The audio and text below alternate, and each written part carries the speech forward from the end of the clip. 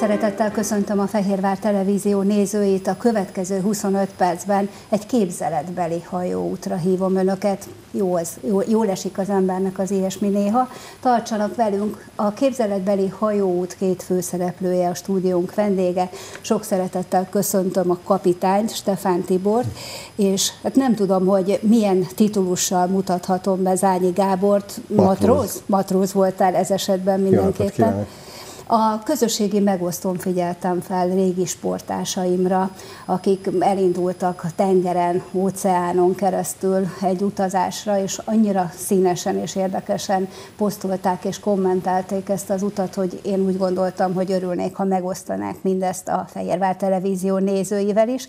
Így aztán ez történik most. A kérdés az, hogy honnan is jött ez az egész út. Tehát ugye Stefán Tiborról tudjuk, hogy profi, profi hajós, neki ez nem újdonság, viszont Gábor úgy tudom, hogy jó régen elhagyta a vizet, tehát hogy indult maga a túra? Nekem volt egy megkeresés egy illetőtől, hogy el kellene hozni ezt a hajót a francia gyárból, és az én feladatom volt összeállítani a csapatot. És akkor volt egy olyan kósza gondolatom, hogy a régi VVS-ésekből, agárdi ismerősekből összeállítani egy csapatot, de akárkit felhívtam, mindenkinek más elfoglaltsága volt. Gábor elvállalta, és tulajdonképpen így indult neki az útnak. Azért egy 5-10 perc eltelt, mire rávágtam, hogy oké, okay, mert először nem is értettem, hogy vicc talán, és a telefonon beszéltünk, és Igen.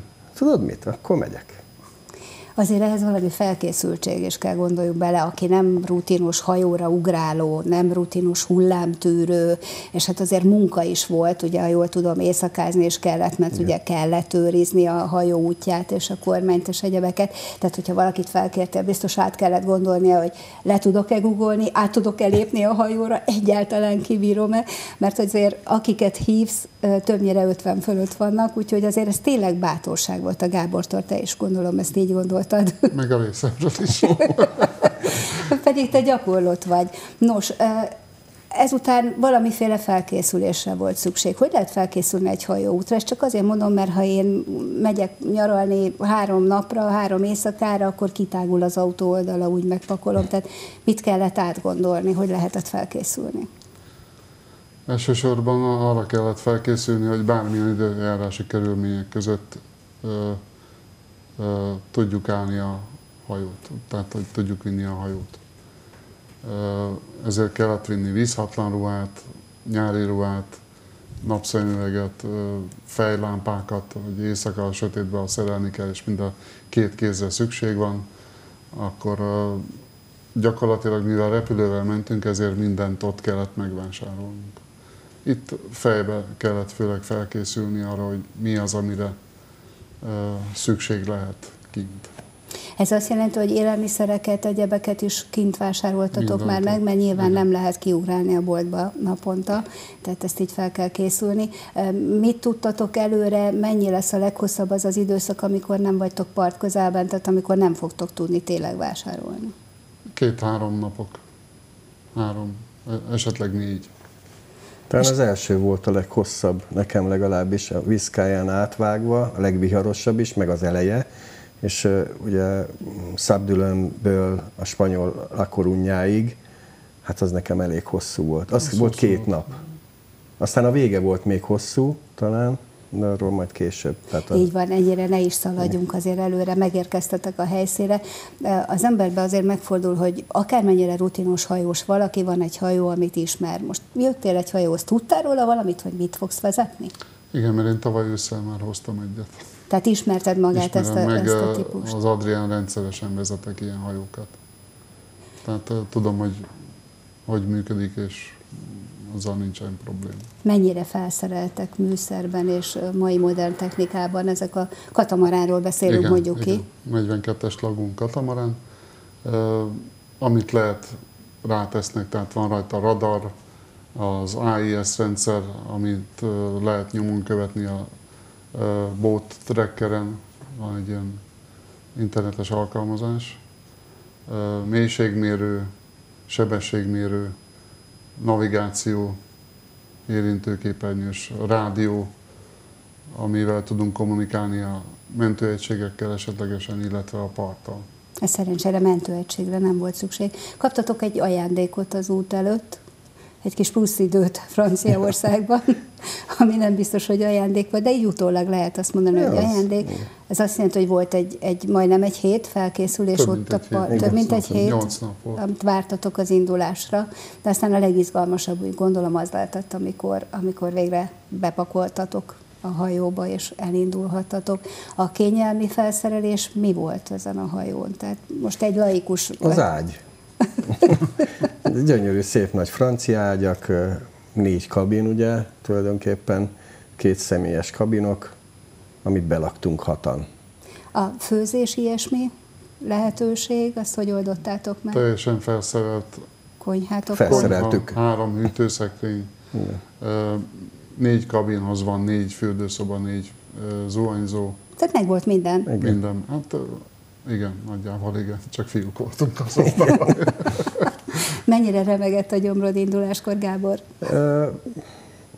Én csak gyorsan azt el kell mondanom, hogy lassan három éve leszoktam a cigiről, és elcigizgetek, és az első két napban most jut eszembe, hogy nem is cigiztem. Tehát annyira nem akartam én stimulálni a gyomromat. Így idáig voltam, de nem történt semmi baj, úgyhogy én kibírtam. Kis félsz volt benned? Az nem, az abszolút nem. Semmi, bátran. Nem. Volt avatás? ha jól láttam. Az hogy néz Igen. ki? Hát háromszorra sikerült eltörni a pesgős üveget. Ez a hajó avatása volt? Igen. Igen. Pesgős üveg. Ott volt a tulajdonos is? Nem. Nem, nem az oldalának persze, hanem a Horgony. vasmacskának. Igen. De a te avatásod is megtörtént az úton ja, közben. Hát, az hogy nézett ki? Facebookon írták, hogy hát régi módszer szerint át kellett volna húzni a hajón. Hát hajó csak meghúz, meghúzott a kapitány egy kicsit a kötélen ami azért nem volt túl kellemes, mert pont az egyik motor mögött voltam, és ott a habosított vizet tolta a számba, de lehetett bírni. Csak picigáztattam. Igen, gondolom. Nos, tehát akkor elindultatok, és egy darabig part mellett merre vezetett az út? Rögtön ki a nyílt óceánra, tehát a Viszkájából úgy volt rövidebb. Átlósan mentünk a háromszögnek. Tehát a szél hát is kedvező volt viszonylag, csak nagy kellemetlen hullámok voltak. Azt el kell mondanom a nézőknek, hogy természetesen hoztak a fotókat is a kollégák. Most látunk néhány videót a beszélgetés alatt, aztán a műsor második felében majd a fotók kapcsán visszatérünk egy-egy gondolattal. Például arra a gondolatra, hogy milyen érzés az, amikor hosszú ideig nem láttok mást, csak a horizont, csak a víz, csak a víz. Nem unalmas félelmetes? Volt. Nem, unalmas. Inkább unalmas? Egyszer-egyszer mondtam is, hogy, vagy talán posztban írtam le, hogy az egészben az a, legszebb, hogy várod, hogy kikös végre, és akkor egy csodaszép városban ott vagy, akár Lisszabonban, Gibraltárban nem mentünk ide, Ibizán, Palermóban, Kajáriban, tehát ezt várod, mikor két napig, tehát nagyon romantikus ez sokak szerint, hogy tengeren vitorlázol, de aztán két nap után elég unalmas. Nem tudom, hogy létezik-e ilyen fóbia, hogyha az ember nem lát partot, akkor, akkor érezheti magát rosszul, mert én egyszer megéltem, pedig én is egy vizes leányzó vagyok, de voltam úgy tengeren, hogy nem láttam sehol partot, partot és akkor egy pillanat, hogy jaj. Sokkal jobb, mert nem jön, nincs forgalom. Az... Tehát olyan, mintha egyedül menni a strádán. Ugyanez nem igaz mondjuk Gibraltárra, ahol hatalmas hajóforgalom van, és a rádión nyomják a, a, a Európába vágyó emberek, hogy fizetünk kapitány, nincs probléma, vegyél fel minket. Az sokkal rosszabb, mint egy nyílt vízi hajózás. Volt egy éjszaka, amikor a teheraut, teherhajók közé navigáltad a hajót, vagy egyszer csak ott találtad a hajót?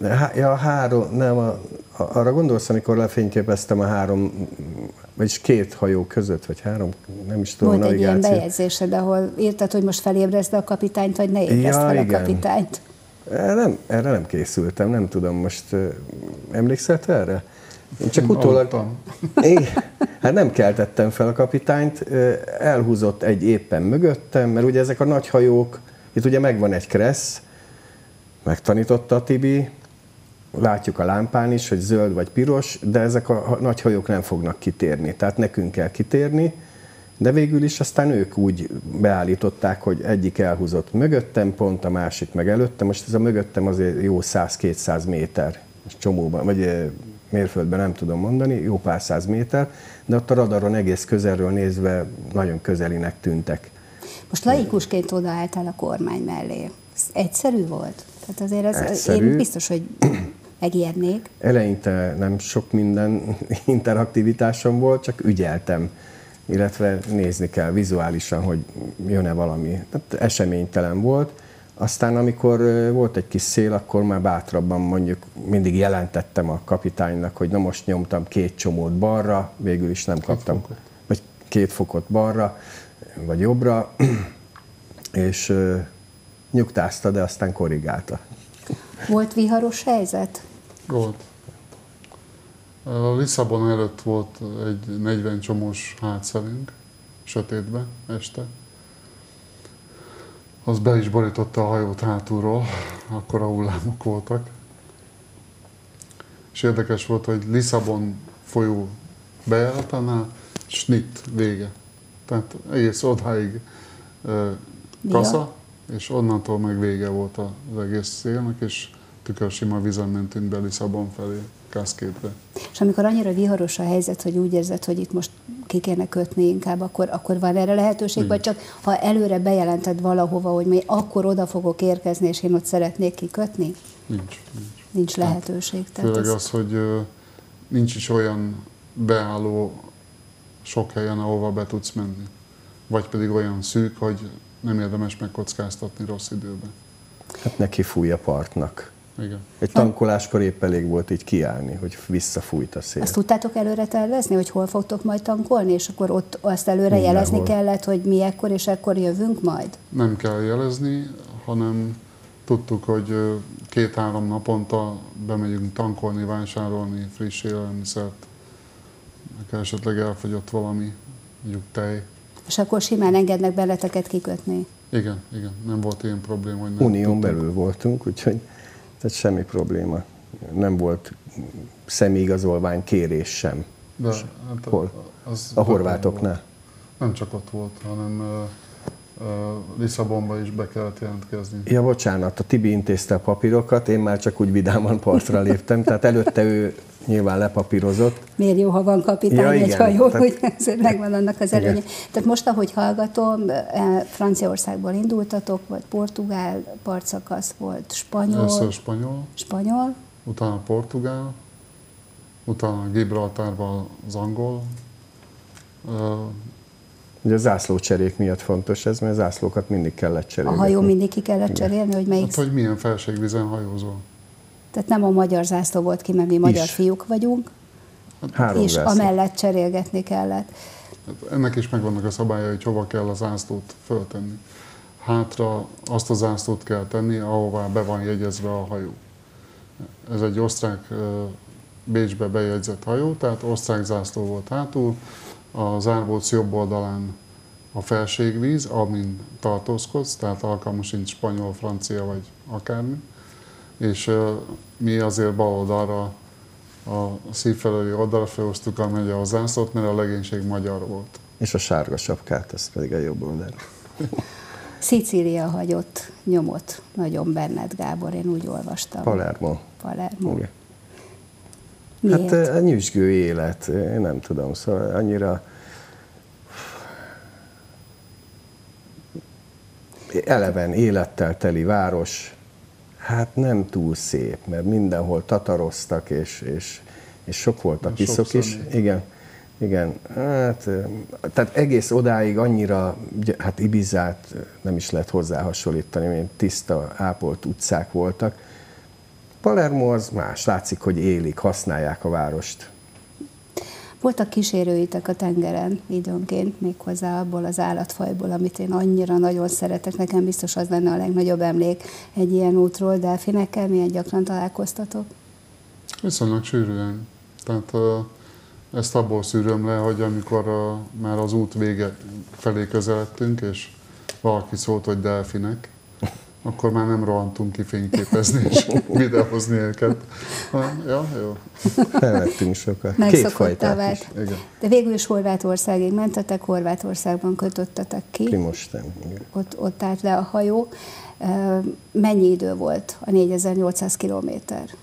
16 nap. Több. Több? Én tudod, vezettem egy, Ja. Tehát 18 vagy 19, nem készültem lassan pontosan. Tehát így, így, így múlik az idő a tengeren, hogy nem is tudjuk pontosan mennyi időt voltunk. Nem is végül. gondolsz arra, Tehát hogy- több mint két Jó. hetet. Igen. Mindenképpen. De azt hiszem, itt az ideje, hogy megnézzük a képeket, amiket hoztatok, hogy maradjon rá idő. De hamarosan látni fogják nézőink is ezeket a képeket, és egy-egy gondolattal megtudjuk, hogy mit látunk. Hát az első képen nyilván magát a hajót, amivel a csoport hányan mentetek? Hat. Hatan. Hatan Neve is van, Beszláv. és fogjuk látni majd a csoportot is, tehát tulajdonképpen ez a hajó, a háttérben nem a hajó az a magas, ez pedig az útvonal a következő képen, amit látunk, ugye, amit, amit végig Ezt Gábor jártatok. rajzolta. Gábor rajzolta, a 2500 A az a tengeri mérföld. Természetesen, és, és maga az útnak a vonala és a városok, ahol kikötöttetek, ezek láthatók. Igen. A vitorla igen hatalmas és igen sok volt a hajón. Jól látom? Ezt Elmondhatom? például- Igen. Hát ezt cipelnünk kellett. Tehát ezt úgy hívják, imádom ezeket a szavakat, és megtanultam egy párat. Ez a Code Zero, ez egy orvitorla. Mert van még a fok, meg van a grósz. Na mindegy, és ezt Magyarországról vittük ki, mert azt nem kaptunk Code Zero-t hozzá. Ezt a- Repülőn? Igen, végig. Az egy 30 kilós csomag volt? 32 kiló volt. Ja, és külön azért kellett még fizetni, ugye a becsekkolásnál. De nem bántuk meg, bár kétszer-háromszor volt használva, de ezért ez megfújja a hajót. Vagy viszi. part ködben a következő képen, és illetve a hullámok innen hirtelen beugrik, hogy melyik partszakaszt láthatjuk éppen? Vajon? Ez sziklás? Amikor part közelben voltunk, Szerintem ez a spanyol rész lehet. igen. Fönt a, a A Coruña környéke. tehát ez még az óceán. Tehát Ugye? az óceánon vagyunk éppen. Ez Gibraltár. Ez a Gibraltár Igen. átkelés. És amiért lefotóztam az az, hogy ott látható egy mecset. Igen. Nem a világító torony? Nem. Tehát A van egy, világító torony is mögötte balra van egy meccs. pedig egy mecset. Erre kanyarodtunk végül is balra be, igen. Aztán megyünk. hasonlóan sziklás partű, Igen. gyönyörű tengerrel, ami látható. Én azt hiszem, hogy ha az ember ilyet néz, akkor biztos, hogy kikapcsolódik és jól érzi magát. Pihenésnek pihenés egy ilyen út? Igen, abszolút az. Kimossa az agyat. Mobiltelefon ilyenek nem működött, gondolom. Ö, Nem időnként. Ezt a, ezt a sziklát biztos, hogy be Ez, tudjátok ez azonosítani. Portugália előtt van. Portugália. És az érdekes, hogy én legalábbis azt figyeltem meg, hogy persze a fényviszonyok miatt nyilván, de a kéknek a több változatát láttuk, tehát a tenger kékjének a több változatát. Sötét, világos, barátságosabb, vagy tónussal telibb, vagy éppen fakóbb.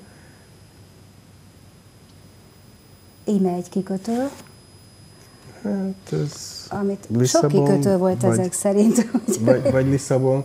Hát ha látnák az oszlopot, ugye akkor kiderül, hogy óceánie. Ez Lisszabon lesz szerintem. Lisszabon. és látszik, hogy milyen forgalom van a kikötőben. Igen. Jönnek, mennek a hajók, tényleg sorban. Ez is egy part. Ez, is meg- egy ez város. Akorunja. Igen. Talán látszik is ott a kikötő parancsnokság épülete. Nem ahová mutatok, azt nem tudom, hogy mi, csak nagyon szép az a palota. Előtte ott a kikötő parancsnokság, ez Ibiza. Ibiza és egy szintén egy Hát kikötőt látunk. Ezek a hajók, ezek. E- Ezért választottam én ezeket a képeket, mert tényleg nagyon csodálatos hajókat láthatunk a kikötőkben. Álomszép, a sok-sok fehérség. És voltatok kiállításon is, ahol tenger, tengeri állatokat... Kagy- de kagylómúzeum. hatalmas kagylók. Ezek tényleg valóságos kagylók Igen. lehetnek most is a tenger Igen. alatt ekkorák? Igen. Igen. Több ezer fajta. Még ugye. lehetek kagylóba gyöngy, hogyha ekkora kagyló. ez, ez például egyébként a kagyló előtt, amit láttunk a képen, az tengeri süm volt, nem? Lehet. Tengeri Igen. süm volt. Jó, Több hát, ilyen terem volt. De hát ez megelőzte az utazást, az a helyben járás, ugye alatt elmentünk a La Szabdolonyban Rochelle-be. van. Nem, ez La Rochelle-ben volt. Nem, Szabdolniban. Ja, ja, igazad van, Közben a tényleg. képek váltanak, én segítek, mert ugye beszéltünk már róla, hogy milyen műszerek segítettek benneteket, ez gondolom az egyik, ami az út közben segített. Ez egy GPS plotter, ott azok a kis háromszögek, amit lehet látni, az mindegyik egy hajó. És ha rákattintasz a hajóra, akkor kiírja, hogy mi a neve, honnan, hova megy, milyen sebességgel, milyen irányba. Már a melyik. Hát ez Mert elképesztő. talál, találkoztunk hadihajókkal, Ja, és nem jelent nem- meg a térképen. Abszolút. Onnan lehetett tudni, hogy igen. valószínű, hogy... hogy Hát ott jobb oldalt fölül a számok, a, fölül a sebességünk, a 8,1 tengeri mérföld, vagy csomó. A irányunk az 50 fok, és 34 méter volt a vízmélység, ami még látszik, és alatta pedig az idő. És ismét kint vagyunk a parton, egy épület előtt. Palermo, igen. Ez A- a, A nem kedvenc. eszem, ez a híres uh, szkála, ez, ez egy koncertterem, vagy színház, a színház. Palermói Nemzeti Színház. Előadása gondolom nem volt idő. Nem. Továbbra is városképeket fogunk látni egymás után. Ez is egy gyönyörű épület, bár nekem azért tetszett meg, mert akár Budapesten is lehetne. Igen, az árványozás miatt. Palermo főutcán. Stílusát tekintve. Még mindig Palermo, Palermóban vagyunk, mindig a Palermo. szoborparkon. Hát nagyon sokat fényképeztünk, tele van szépséggel. Van Csodálatos. múltja ugye a városnak. Csodálatos. Ez egy, ez egy belső, Belső étterem, igen. Most tudom. Gyönyörű utcák tényleg hangulatosak. Itt tisztának tűnik. Igen. tisztának és kedvesnek tűnik. Ezek a képek már itt, na, nézzük akkor, még újabb szobor. Ez Lisszabon. Ugye ott voltunk a plázson, ott fürödtünk mi Lacival, és a, Nem tudom, hirtelen nem ismerlek meg abba a zöld ruhába. Minden esetre, itt, itt mentünk le a plázsra, ez Lisszabonban De én nem volt. mentem le akkor. Te nem. Minden amikor esetre ha valaki bevállalja igen. ezt a 4800 kilométert, akkor ezek szerint ilyen dolgokkal találkozik. Ez Palermo. Palermo A és kikötő Halpiac, mellett ott gondolom. Nem, van egy kis stand, és ott halakat árul meg, ott vannak a tintahalak előtte. És vissza a tengerre, Ez a csodál, vihar, ez a horizont jön, most olyan képeket fogunk látni, az én válogatásom volt, ami, amiben említettem is, hogy milyen érzés az, amikor csak a vizet látjuk. Megnyugtató. Az előző képen egy vihar volt, amit úgy reméltünk, hogy elkerülünk, és nem. Az jött utánunk, és végül velünk is volt fél napig ez a vihar. ami egy izgalmas időszak. Igen. Gyönyörű naplemente, vagy felkelte, ki tudja, de mindenképpen nagyon szép. Ezek szerintem Ez napkelte. Igen? Ez a, szerintem Jó. Gibraltárnál nem. 50 százalékos. És bennetek ez a hajnalba értünk oda. Ez a történet egyelőre még nem tisztult le, úgy látom, még nem Hát én sikerült a képek ö, dátum időbélyegzője alapján tudom, hogy... Ja, meg azért a, a videókat És pedig a átneveztem. delfinek is látszanak Igen. a képeken azért, megjelennek itt ott, ott a játékosságukkal. Nem félnek a hajóktól. Nem. Nem. Én azt vettem észre, hogy kiálltam a hajó orrára, és így integettem nekik, és így néztek fölfelé, hogy van-e benne hal, vagy nincs. Hát én nagyon szépen köszönöm nektek, hogy elmeséltétek a történetet. Köszönjük. Persze órákig lehetne egy-egy településről beszélni, vagy az útvonalról, de örülök, hogy itt voltatok, és Köszönjük szépen. információt kaphattunk erről. Kedves nézőink, az elmúlt 25 percben vendégünk volt Stefán Tibor és Zányi Gábor, akik csodás helyen töltötték pihenésüket. Örülök, hogy velünk voltak, viszontlátásra! Viszont.